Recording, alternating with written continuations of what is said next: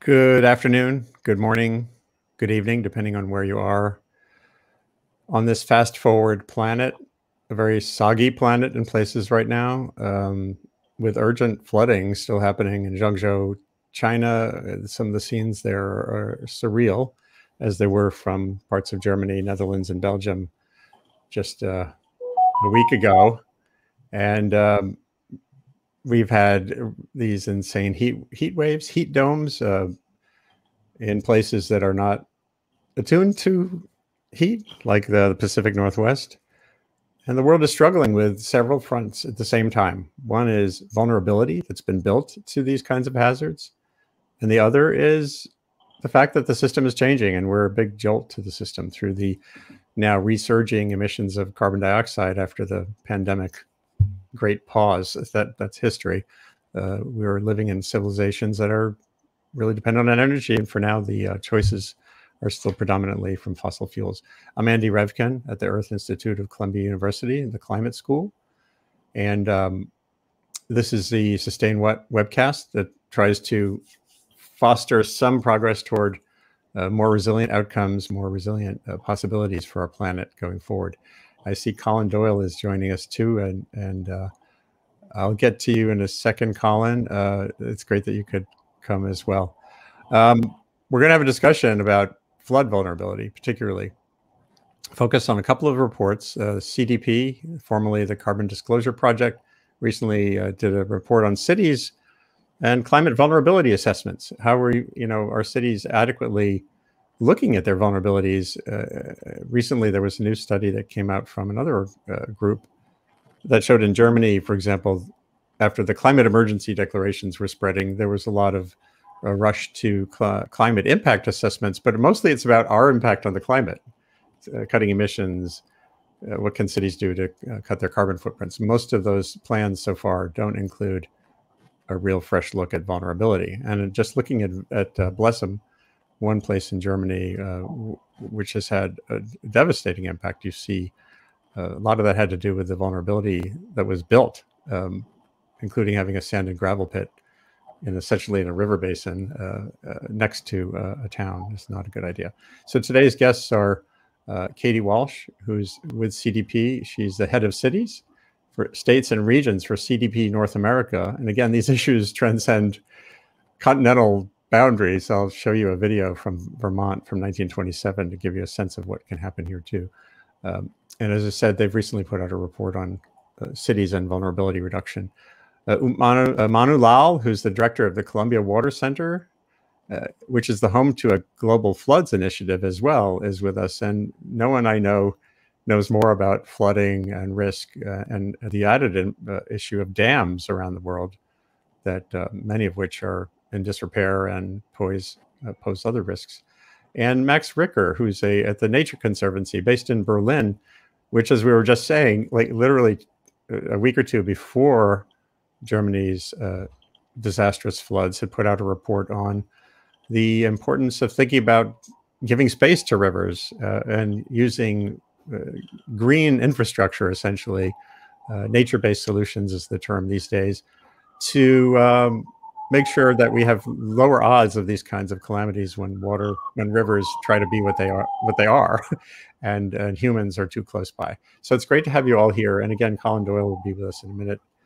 Um, it will uh, start to discuss some of these questions. Um, first of all how, how are you all doing? Uh, let's start with uh, start with max because you're closest to the most recent uh, episode. You're in berlin uh, germany you know, in the United States, we think of Europe as these small little places, but Germany itself is big. So not, you know, when there's extreme flooding in in uh, that Rhineland area, it's not necessarily affecting you. But what was it like as you saw this unfold right after having written this report? Yeah, well, thanks for having me here. Um, it was it was pretty uncanny timing. I mean, we'd been thinking about this for better part of last year as we were writing this report, doing the research behind and we've seen the past few years series of dramatic events in other parts like Greece and Spain.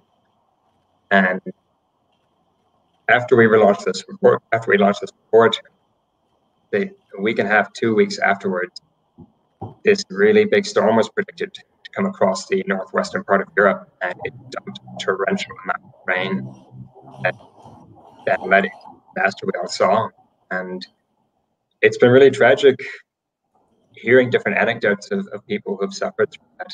And unfortunately, I think this is just the start of probably what's a more and more common story if we if we continue not to think about how we adapt to climate change and if we continue on our current trajectory of emissions. Uh, that's for sure. And could could you maybe run through what's the key lesson here? I mean, the picture you show here in the, in the report gives this reality that proximity to rivers is a big part of what many cities their whole history. They the reason the city exists is because often because of its location uh, by a waterway. Sure. I mean water is the basis of life and historically it's the basis of trade as well. And we, we do tend to settle around waterways. And moving forward we need to think about what's our relationship with those waterways and how much room do we give to them to exist in way, as you said before, as rivers. And the question isn't just how do we develop the areas around rivers, it's what do we do in the landscape, in the watershed? How much area do we leave for nature to, one, slow the flow of water into those rivers, and two, to actually just absorb some of that water, or when there's events, to, to allow some space for excess water to flow into it and sit and just kind of wait out the storm. Right. And how uh, I, want to flip to Katie uh, because you've just done an analysis of cities and vulnerability, uh, your group, and how are we doing on this? this question. Yeah. Are cities adequately attuned to these? Well, thanks. Yeah. Also, thanks. Thanks for having us, and and thanks for having um, CDP, and and to be able to talk about some of our findings. I um, I'm here in CDP North America in our New York office. Uh, I am I'm in Brooklyn. I'm I'm born and raised, you know, Brooklynite, and I uh, my experience yesterday walking walking outside of my house is that we here in New York City were feeling the fires from the West Coast, and the air quality was so bad that they were recommending people with asthma, like myself, um, and unhealthy populations, um, you know, prevent try and limit their time outside, um, wear a mask, right? So, so our mask has multiple purposes, and those are the fires from the West Coast, and we're here feeling it here in New York City, and so we are we are feeling, we are breathing, um, we are experiencing the impacts of climate change. They are they are with us, um, and my heart goes out to to everyone um, across the globe that is is going through um, these challenges we, uh, you know, here again, um, just the, the New York context and, and also thinking about, you know, where I live, the, the communities that are most impacted, um, most vulnerable, uh, historically marginalized communities, um, uh, you know, working class, black and brown communities here in the United States um, that were already heavily impacted by COVID um, that we're already more vulnerable. We we are living in an environmental I'm in an environmental justice um, community that again has a lot of environmental burdens um, and are already at risk. Um, and now you layer on all of these impacts um, that are that are coming in real time. So it, this is a major concern. We need cities to be acting as quickly as possible the CDP cities research that was released in May of this past year, um, the, the Road to 2030, looked specifically at the disclosure from 800 cities. So CDP is a mm-hmm. global environmental disclosure platform for companies, for states and regions, and for cities around the world. And we work with them because if you don't measure it, you can't manage it. And so the environmental disclosure platform is a tool to go through and understand and be accountable both to where you need to go for ambition um, and understand uh, your individual responsibility, um, but also being able to, again, take this individual action through measurement. So we had cities who are um, reporting from the United States, from Canada, globally, over 800 cities. Uh, we found that the cities who we have uh, over 90% of our cities globally are reporting climate risk of those right so they they see mm-hmm. climate risk climate change as a huge impact 40% of them have actually developed climate risk and vulnerability assessments right or 40% of them sorry don't have don't have climate right. risk vulnerability assessments. And so what is that, you know, what does that tell you? Vulnerability assessment is a tool to be able to figure out what actions you need to take. And so again, it really underlines the importance of going through this measurement process, understanding what your risks are so that you can start to take to take action. Yeah, and this uh, how much do you think has been integrated in the sense of vulnerability of to climate change as opposed to vulnerability, the general question of liability and uh, this these vulnerability issues don't seem to be well recognized yet, and I don't know whether in the assessments that are done, like for just to, for flooding, are cities realistic about understanding how exposed they are some of the challenges that cities have is is understanding what you know they they they understand their short-term risks but how is the environment changing over time? What are those medium and long-term risks going to look like? And so again that's the purpose of going through vulnerability assessment being able to have real scientific tools being able to understand how uh, the climate is changing how does this influence so that you can start to make some of those projections. But what we what we're working with is is again you know the, the 800 cities that are going through this process. Um, but if I think about here in the United States, right, we had 165 cities in the US. Um, but what about the 30, 34,000 other municipalities in the US that right. really should be going through this, you know, this exercise um, of cataloging, measurement, and understanding how climate will impact them over time. And um, I'm going to bring in Colin just uh, here, here's Colin Doyle, who's uh, from Cloud to Street and is a researcher looking at um, flooding vulnerability and patterns around the world. Colin, you, I, I want to be sure I don't jump the gun on stuff that's embargoed and coming out in a paper shortly, but you have done a lot of work on what's possible in terms of mapping people. How many people and, and assets are in harm's way? And what's the thumbnail sketch of what you could say uh, right now? You, you, know, not uh, honoring what's uh, what's under embargo? Uh, yeah, thanks. Um, so at Cloud Street, we've done a lot of work with um, using uh, remote sensing observations to try to look at actual flood extents. And so getting to this point of, excuse me, doing flood vulnerability, um, what we found is, well, that's a very hard thing to do um, in, in reality. And so a general approach is to use like flood modeling. Um, although what we have found is that uh, it's really hard to make a good flood model that's actually accurate. And when you start looking at um, actual observations, uh, there ends up being a lot of people not accounted for that are in fact um, in harm's way. Uh, that reminds so, me. That reminds me of when you think about loss, me measurement of loss. Right, we're only measuring insured loss often, and not you, you know informal settlements.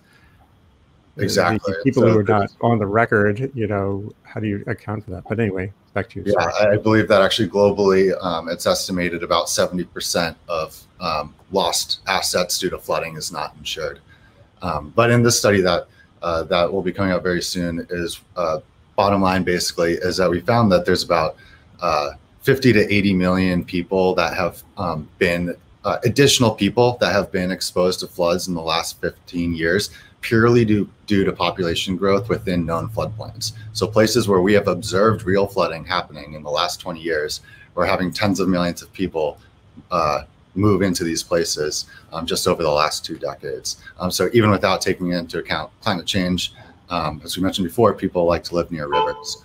Um, and while there's a lot of advantages economically um, to that, uh, there's also a lot of risk to it. Um, and it's really important kind of how you work with with uh, the river and the, the, natural pulses. Yeah, well, that gets to that the justice issue that Katie mentioned. In other words, um, outsized vulnerability. If you really map and zoom in, you see that vulnerabilities are often uh, socioeconomic, whether it's to heat or flood loss or the like. Uh, Manu, I, you've been very patient, and I'd love to get your global perspective in here. You, you know, when you've seen the recent uh, disasters, and I could show the footage just out of um, Zhengzhou of people. I think about 13 people died in a in a subway car that as it was progressively flooded. Um, astonishing downpours, astonishing exposure to hazard. You know, China's history of flooding is as old as China. Um, but what do we do? So, Manu, over to you just briefly, and then we'll we'll start to talk about where do we go from here. And sure. I'll show a little bit more data. yeah, again, thanks for uh, asking me to join today.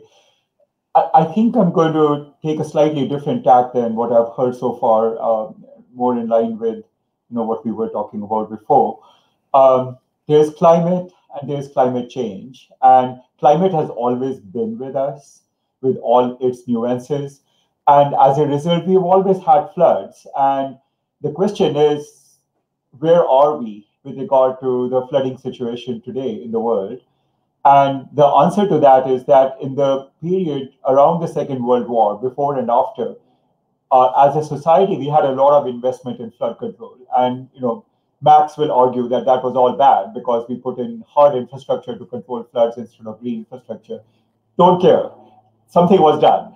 Since then, we've been sleeping, basically. If you look at investment in any kind of measures for flood control, it's been non existent for the last 30 or 40 years. Mm. The last dams that were built in the United States, which were of any consequence whatsoever, were 1976. So, you know, we've been sleeping, and most of those things are old now and are doomed to failure. Uh, and at the same time, we have gone from in the 1960s, people were concerned that we had 4 billion people, and now we are sitting at, you know, double that. Uh, so the exposure grows, but because there's different ways that the exposure grows it grows because there are more people who are living more near uh, water bodies, but it's also because we increase, irrespective of anything else, we increase the total paved area because all these people need, need places to live in. So the water cycle then on land, irrespective of what we do with climate change, accelerates as well, which contributes to increased flooding. So what should we be doing now? We can do green infrastructure. We can move people out of there. None of these are going to happen very easily we mm. really the thing that I think is interesting and useful with what's been going on is suddenly floods are in the news and people are saying, what do I have to do about it? When the flood goes away, somebody comes in, looks at the beautiful landscape and builds a house on it uh, and, or a business on it. This is, you know, because it's romantic uh, in their view. They, they want the view. Uh, right. That's one dimension. The other dimension is poor people who have nowhere else to go end up on these vulnerable slopes and uh, you know they're flooded basically. So seriously, what we need to be doing is continue talking about climate change and what we do need to do to mitigate it, but face up to climate risk and what we need to do to solve these things in everyday life. We are not doing that. We are so hung up on we need to decarbonize and reduce those things, all of which is good, that we are not paying attention to the impacts of climate that are always with us. Yeah, this is uh, an issue that's come up repeatedly on my broadcasts. Um, uh, Di- Diana Liverman, uh, just a couple of weeks ago from our University of Arizona, we were talking about heat, but she was saying, you know, people continue to mix up climate risk and climate change. Climate change is one driver of risk, and risk is a function of how many people, how vulnerable they are, uh, and the hazard, and if it's changing. So maybe back to Max again in that sense. Um, uh, is, is that full picture sinking in when you think about the discussion in Germany? And we'll go to Katie again too. Uh, or is it seems in situations like this, and here I am writing about climate change for 33 years, climate change meaning global warming. This um, it seems that we have a hard time backing away to the bigger picture when the world is so you know when it seems so urgent to try to get people to start decarbonizing. At the same time, we have to cut risk on the ground in places that are vulnerable. I, I don't know whether those messages are we just too immature as a species or communities or the media or uh, leadership to be able to do two things at once? Uh, well, I can't answer if we're too immature or not, but I would, I would definitely say we can and we should continue to prioritize decarbonization. That's that's what's going to stem this as much as possible. But even if we but on attain, a long time scale. Sorry. But on a very long time scale. In other words, yes, it takes time for that to register in the climate system. Certainly, and so yeah, the next point is even if we do reach the 1.5 degree target, so limiting our emissions to that point, that's still a warmer world than today. And that means we will still have more frequent natural disasters than we're currently seeing. And so to ignore adaptation is is very short-sighted. Yeah. And I think it's really critical that we as a society collectively start thinking about this as a dual challenge. And from the point of the Nature Conservancy, I would say that a three-way challenge because we're also facing a crisis of biodiversity collapse. And so that's where we say nature here has a critical role to play in both mitigation through capturing carbon in certain landscapes and, and types of ecosystems, and also an adaptation through a number of can get into that later about what the role of nature is in rivers. But thirdly, this is a key way to restore and protect some of the biodiversity that we're seeing rapidly disappear around the world. And so I think your point on toting more and more adaptation is critical. I mean, it's it's really necessary to save ourselves in the short term as well. And, and Katie, um, just getting back to that justice question, um, that also doesn't seem to register sometimes, even when you see big adaptation plans. Like in New York City, I wrote back in the Bloomberg days of about the big U and all these, which is basically protecting Wall Street. But what are we doing to really get honest about the vulnerabilities that can be reduced now? Uh, this came up in a recent chat I did on heat too, where uh, heat is, you know, you die or live based on whether you have an air conditioner or a place to go. And so it's at that scale, what what isn't being registered can be registered. Right. Well, you're you're only as strong as your your most um, you know vulnerable like populations, right? So, I mean, the the importance of integrating equity into the the work that is happening on climate action for cities that are leading the way on thinking about this holistically. Um, equity is one of the pillars, um, and working within uh, recognizing environmental justice harms, you know, historically marginalized communities, but then also being able to to have this integrated in the in the long term planning. The black here in the United States, um, the Black Lives Matter movement, um, the the murder of George Floyd, um, really with the combination of COVID 19 really exacerbating um, a lot of these challenges, has thrust this conversation um, and really, you know, put it front and center. Um, we, ha we have cities who have a legacy of doing this work. Um, City of Baltimore has been doing climate action and climate adaptation planning for a long time. And key to that has been a focus on equity. So we have some really good examples um, of, of, again, how to center that work and re reorient what that, that planning looks like. Um, I want to, you know, kind of also respond to your your earlier question of you know where do we go from here and and what you know challenges that do we have ahead um, we have our science um, the climate science is sort of right uh, in terms of resource and access, but then also um, being able to understand, you know, the impacts. Um, so in terms of, of understanding the, the science aspect of this, um, here, here, you know, the investor community um, and looking at the financial markets, there is I will pull out one example from the uh, city of Buffalo. You know, just issued about two weeks ago an environmental uh, impact bond. So that ties the infrastructure investment that they have to environmental outcomes um, in terms of what they can achieve. And it was oversubscribed, and it's the largest environmental impact bond of its kind that has been issued in the United States in the city of Buffalo.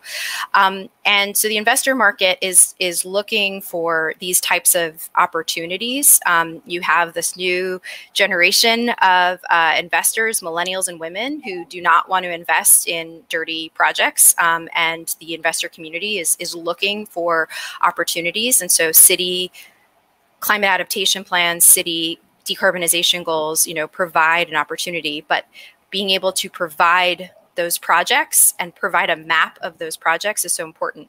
Um, we released last week a mm-hmm. snapshot of U.S. cities' infrastructure projects across the United States, from the from the west to the northeast, that are seeking financing those could be a mix of, of um, how those how those uh, financial mechanisms you know work themselves out. But these projects range from green infrastructure projects to transportation projects, um, and it's very timely, of course, given that we are now kind of right in the middle of this debate on what infrastructure funding looks like.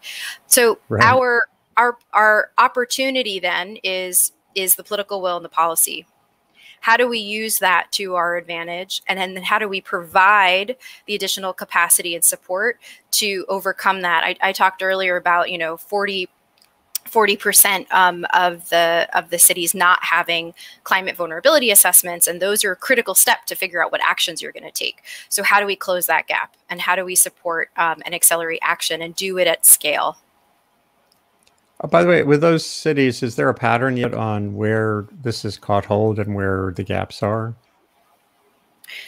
We have um, it's i mean if you look across like the the global gaps and then even how it plays out in in the regions as well um, you know it it plays out in the US. So we have, you know, just correspondingly 40% of our cities um, also not having climate adaptation vulnerability assessments here in the United States as well.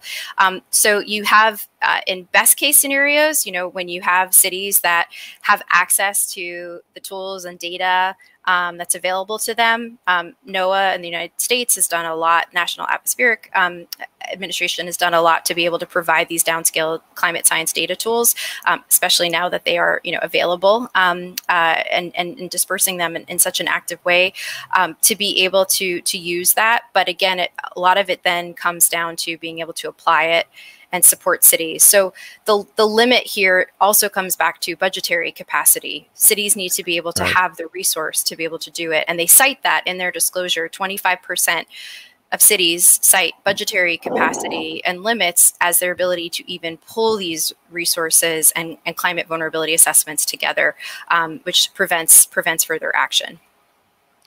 Uh, and Colin, uh, with your work again, you know, respecting the embargo and what's coming, but uh, is there a pattern where you see where where is the exposure surging most? My, in my experience in reporting, uh, you know, I look to sub-Saharan Africa, Lagos, Nigeria, or Nigeria in general. You know, by 2070, under current fertility, we're talking about Nigeria alone having 750 million people, just that one country and uh, uh Lagos and cities like that are already, um, you know, bursting at the seams in many ways.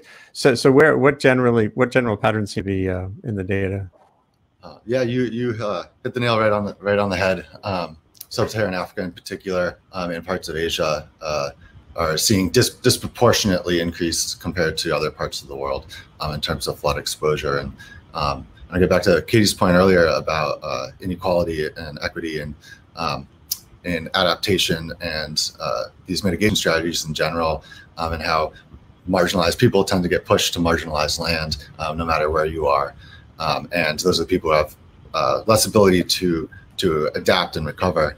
Um, and moreover, when cities are going to design, like, how are we going to protect our assets from flood risk? Usually, their first thought is not like, where do people need the help the most, their first thought is where are most expensive assets we want to protect. Um, and so it kind of self perpetuates. Um, and it's such an important uh, aspect to truly uh, adapt. Um, and actually, a chief science officer uh, last year published a paper on in the US how um, extremely unequal uh, flood risk or um, the ability to recover from flood loss is just within the US.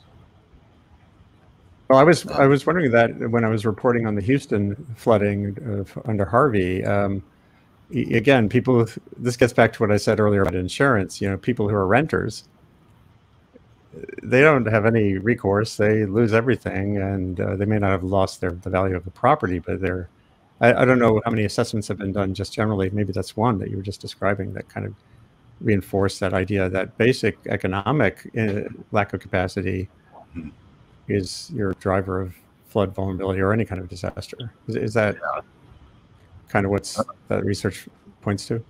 Yeah, exactly. Um, and you can also see like uh, Hurricane Katrina in New Orleans was a really prominent example of that, of uh, the uh, socioeconomic classes that were harshly affected and had no way to recover versus um, the ones that had the ability to recover but were not very um, much affected. Um, and yeah, and then Houston, Houston as well. Um, another thing that um, our data showed is uh, increased risk actually due to dams. Um, and so all these dams going up and people feel safe. Um, and right. sure, it's relatively rare that it collapses or overtops, but when it's when it does, it's devastating because people move to this place because they think it's safe, um, even though it's directly in the way. so that, well, that's people refer to this as the levee effect, which is still somewhat debated, um, but we've definitely uh, seen that pattern in real data. The what factor? I missed the word. Uh, the levee effect. um, where people Oh, the levee feel effect. Yeah, yeah, sure. by, yeah, by infrastructure that then fails and is can be uh, that much more devastating. Well, that takes us right back to Manu, who's, who's done extensive work on that very point. And, um, and, and again, it's the time scale issue. This gets back to the core point we're all exploring here, I think, which is uh, extreme events by definition are rare, right? That that's if they were not rare, they would not be extreme. so it's like, and rarity leads to a disconnection from political urgency. And we build and build and build, settle, settle, settle, and the rare thing happens. Uh, the, those odds are changing because of climate change. But that paper, a recent paper out of uh, Vienna, uh, showed clearly these these monsters are are there waiting. Um, so Manu, you've dealt with this for decades, right? And and at various scales, from the scale of small communities to the scale of global policy. Are we inching toward progress here in dealing with in normalizing a way to have rare extreme events integrated into planning? You know, all the things that our guests are saying here should give me hope. But unfortunately, I think they verge more on the side of rhetoric and demand for these things than actual actions. Uh, it's been known since perhaps the 1960s that with regard to disasters, which uh, correspond to extreme events, a dollar invested in prevention is worth two dollars or more. You know, that's the colloquial saying in uh, costs incurred post disaster. It hasn't changed the dynamic in terms of in those investments. Uh, further, you know, with this issue of marginal populations and so forth, it's interesting in the United States, whether it is privately funded or publicly funded projects, we have this concept of benefit cost analysis uh, for any investment that we do, whether it's green infrastructure or hard infrastructure. And that, of course, favors higher asset value properties and not lower asset value people. By contrast, Australia has a policy which says everybody gets a 100 year flood protection grant for things that already exist. And where nothing exists right now, you cannot enter the 100 year floodplain, which would fit with what Max is talking about with zoning and protection. Somehow, in the politics in the United States and in Europe and in other places, uh, we've become very good at the rhetoric. Uh, it doesn't matter which party is in power, and we have not become very good at acting on these things. And I would put this at the national scale because the local communities, there are actions there. They struggle to figure out how to do it. They just don't have the resources. At the national scale is where we have the averaging and the resources, but it seems impossible to get action. So I'm not optimistic still. Uh, I like every time the rhetoric moves in a positive direction at the national scale, whether it's from the public sector or the private sector, but I'm still not seeing uh, action following that rhetoric. Yeah, I uh, you know I I have this little shorthand phrase that was first posted on my blog at the New York Times in 2008 by a German reader. He basically said, "Are we stuck with blah blah blah bang?" And I I've written probably 10 or 15 pieces that have that same phrase. Um, uh, and you always we always think, well, maybe now, uh, let's say in Germany, there could be a real serious reconsideration of urban design, uh, incorporating what Max and Nature Conservancy and others have long espoused. You know, give the river some space. Uh, we, you know, density matters for for transportation efficiency, for energy efficiency. Get people where they need to be, uh, and think more seriously about these kinds of uh, realities when you live in a floodplain. So, Max, I, I really I think it's great that you had this report out. Was the phone ringing a lot, or the email basket full?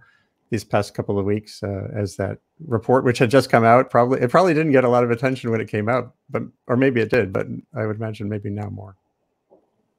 You know, I was actually I was on leave the two weeks after it came out, so I avoided all the phone calls. Um, luckily or unluckily, um, but I, I do think the the point about how we develop our landscapes is really one worth talking about. We again, that's what I said at the beginning. We don't need to think about just the area of where people live, but really the whole watershed. And so floods are going to become more frequent and of greater magnitude in many parts of the world. And this is going to become just part of the reality that we have to live with and adapt to. And there's numerous ways in which nature can take a role in, in mitigating that. And as Manu said, a lot of the existing gray infrastructure we have is outdated. And as these floods get larger, they strain that infrastructure more and more and they overtop it more and more. And so one of the examples of a really progressive nature-based solution in, in Europe is called Room for the River. That's been piloted in the Netherlands.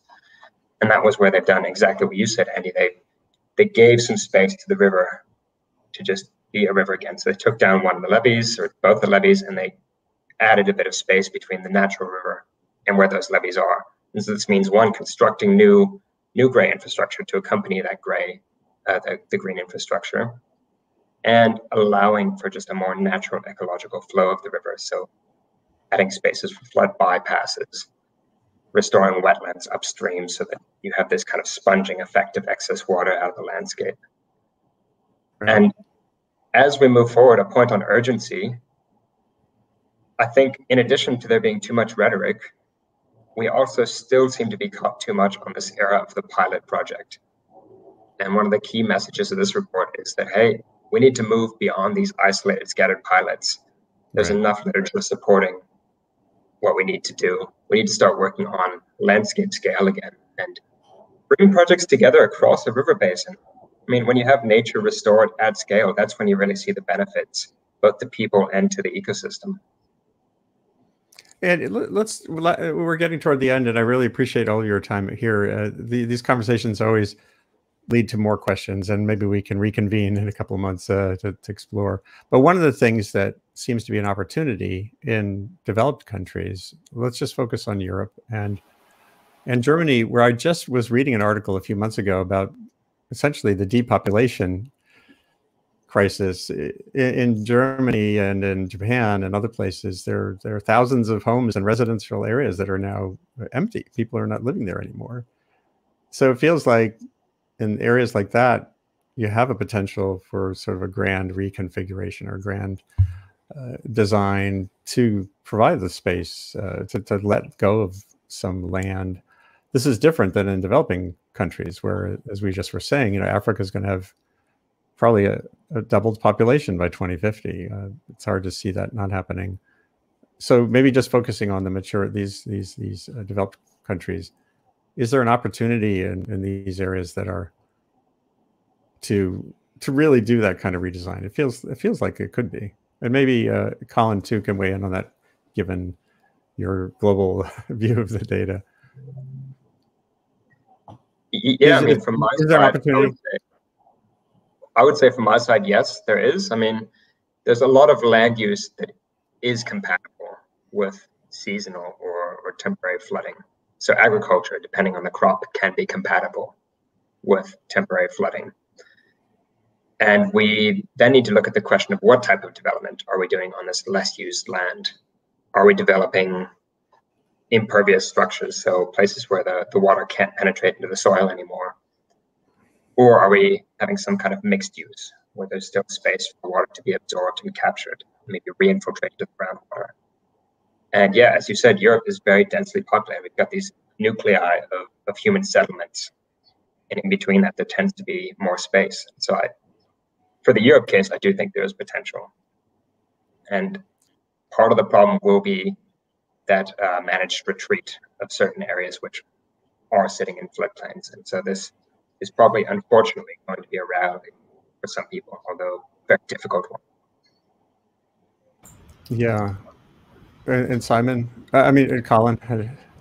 Uh, yeah, I, I agree. Um, and it's going to be, you know, particularly for the already densely populated places, it's going to be extremely difficult and be very expensive uh, to kind of rearrange um, the current, you know, economic and social structure of a city.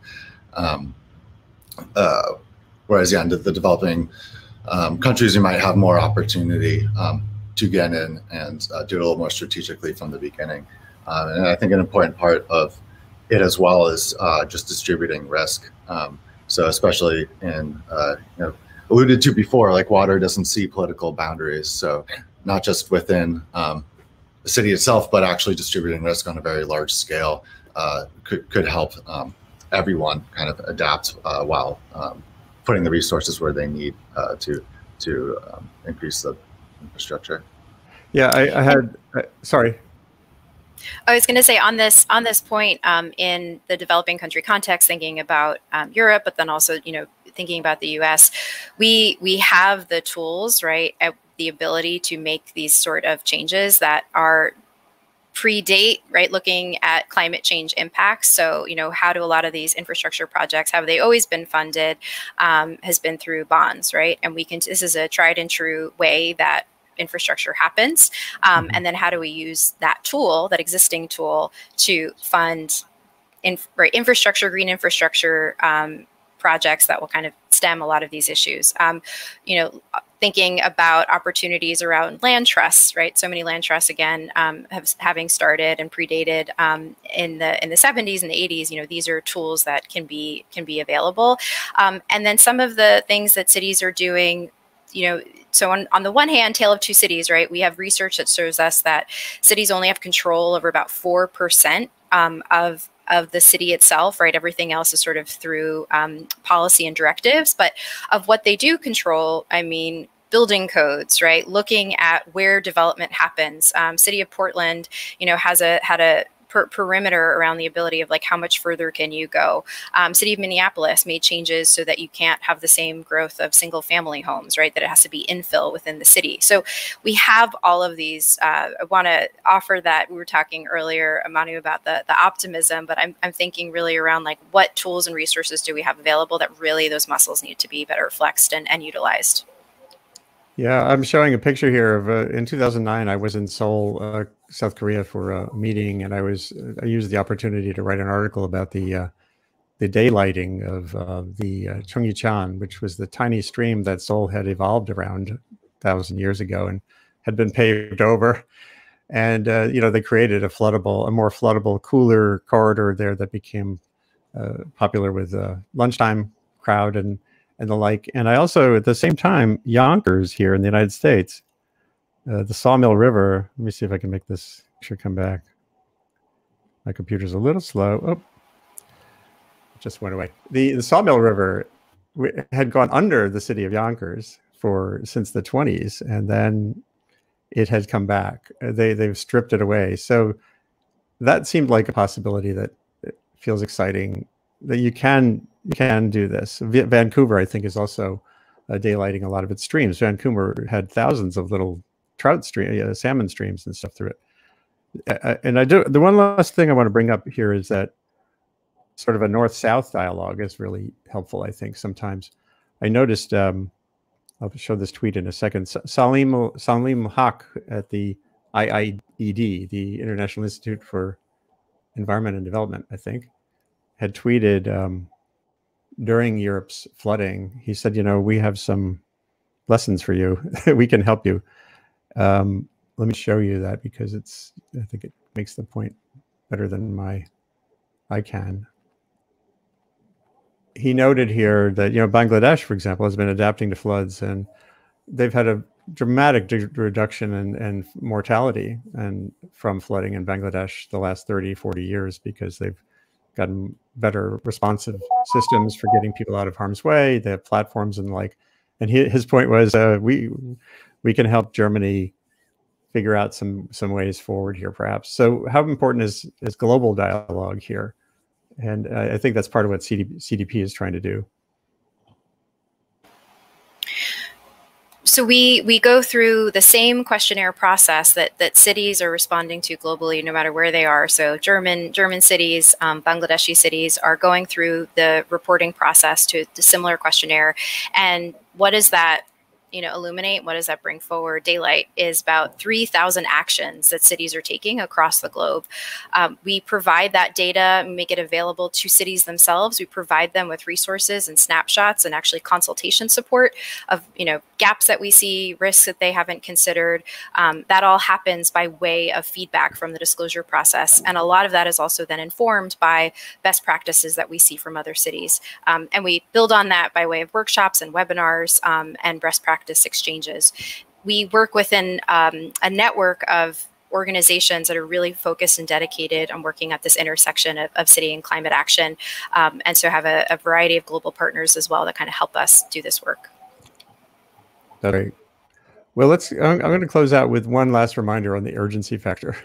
And we, I mentioned earlier this paper uh, from last year. It's just one of many in this field of if you google for the word paleo flood as one word paleo flood there's a body of work that shows in a very scary way that as this paper says you know we're in a new era a flood rich period. Uh, it's exceptional within the past 500 years. The exceptional nature of it is mainly in the fact that it's more in a different season. It's it's it seems to be the flooding coming more in warm months like we see now in, in these past eras of hyperflood. Uh, and the, it's been cooler. But here is just a, I just want to show you an animation from the paper because it gets this uh, this issue pretty clear. Um, this is a scale from top to bottom from now, which is that's this is this flood rich period for Europe right now, and you can it's laid over the map. And then here in the uh, 1850s, the around 1800, 1700, 1650, back to the Middle Ages, Europe has had these patterns. And this is, again, I can tell you from work I've done on flood history in the United States, this is something we have to deal with, period. So anyone out there who's thinking, oh, this is just those global warming alarmists, is missing that the risk issue, the the the hazard is there, and it's being exacerbated in ways that are clear cut uh, through warming. But I think the more this gets integrated into conversations, maybe the better, the more likely the let's say the financial community, which has a green component, as you've been saying, but it also has a very kind of non-green component where the green is more about money still than about climate. And this says to me, watch out. And Manu, yeah, I'd like to have you just offer maybe one more perspective on that too. And just be, before you do, I just want to show. Um, I think I had it here. I did one of the the stories I did in 2002 on a Nature paper on flood patterns in the U.S. Northeast. Found that we are in an era of rising floodiness, floodiness in the Northeast, but there have been through the last thousands of years episodes of flooding, and this is in the, the, the beds of lakes. You can see gravel that got scoured off of the hills over thousands of years, and the pattern shows that it's unbelievable what's in the system waiting to happen. Uh, this was a 1927 flood in Vermont where um, a fading tropical system came ashore. And, and Paul Bierman at the University of Vermont said that the record that this left in the lake bed is small compared to some of these other incidents. So this is Vermont uh, in November of 1927, and it the lieutenant governor died. Uh, much of the agriculture was destroyed. So they're there, they're baked in, uh, and we're exacerbating this now, uh, loading the dice, as James Hansen said so long ago. And Manu, uh, you know, maybe are we at a moment when that inertia you have faced it can really tip? Well, I would like to end on an optimistic note, right? Uh, it's uh, not always easy to do that. So integrating in a couple of the conversations and your example about Bangladesh and you know the Dutch are marketing themselves as flood fighters as well, and that the world should learn from them on how to deal with floods. So what's common about Bangladesh and Holland is that these are places that are perpetually flooded. Every single year they have significant flooding. Mm. Um, so they, you know, devise some things to deal with that. And the challenge for the rest of the world is that these are not happening all the time. So the fact that they happen only infrequently, uh, then they say, okay, well, this was a disaster, and a presidential declaration will pay for it, and I don't need to do a damn thing, right? So that's kind of the dynamic that we are dealing with. So I think as we move into more flood prone periods, because we have those in the paleo record and in the historical record, maybe the awareness and what to do about it will change. I could say the same about drought, but we are seeing that the dynamic is very slow in terms of social change towards drought. Uh, I'm going to give you a story which, uh, so in the late 90s, Al Gore was vice president, and his office contacted me and they wanted me to see what I could do about explaining what was going on with Devil's Lake, North Dakota. This was flooding, the lake was rising uh, and continued to rise year after year. And it was really, you know, if you looked at the data from 1940 onwards, which is what was publicly available, it was just unreal. Uh, the lake does, you know, something like this the whole time, and then it goes there, and, and it's just continuing to go up. And at some point, it spills. It is no longer a closed basin lake. So uh, Al Gore's idea was, uh, here's an academic. He'll he'll tell us that this is due to climate change, and then you know I can build a story around that. Well, we looked at paleo data and it seemed like every 150 years or so, this lake does exactly that. Uh, and this is what people have found with the ARkStorm scenario in California. Every 250 years or so, you get these atmospheric rivers that just come and come and come and dump all over the place. Well, so we presented this and we said, okay, since this happens all the time, every few hundred, uh, every 150 years or so, one needs to think about the mechanics and one needs to think about predicting it and one needs to think about what to do about it. Uh, Vice President Gore went out and gave a talk saying this is all due to climate change anyway.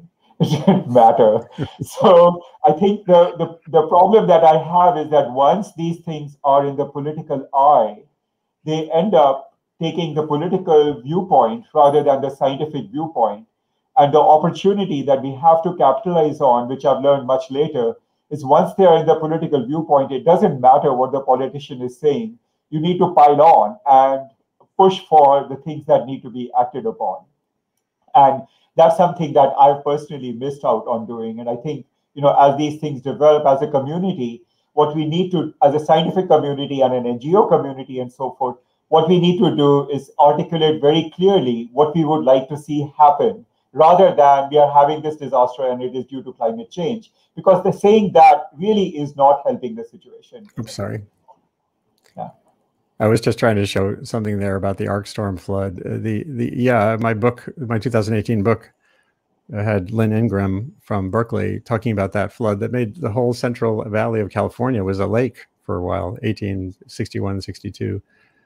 And I still think it's early days to think about how we get I, I, don't think you could ever integrate that into a mitigation scenario very ac actively because it's if it's on that time scale. But you certainly awareness of it and the reality that it's there and it's something that comes can then hopefully change some some some factors. It looks like you're all dug in in the way that that Manu uh, described. I'm really glad to have Katie Walsh and Max Ricker from the Nature Conservancy, Katie from CDP, Colin Doyle from Cloud to Street. Good luck with your your work, and Manu from Columbia Water uh, Water Center and the Columbia Climate School here today to try to uh, point everyone toward a rational approach and recognizing the political realities are always going to be there. You know that that that what was just described there about former Vice President Al Gore is going on in Germany too, where you know everyone says, "Oh, climate change," and that, that's fine. It's in the system, but if it takes you away from